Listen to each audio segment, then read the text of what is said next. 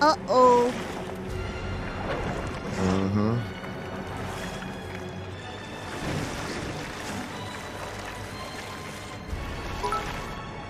Oh no. I've seen too much hentai to know where this is going. Where's it going? We're gonna get fucked. Probably, right?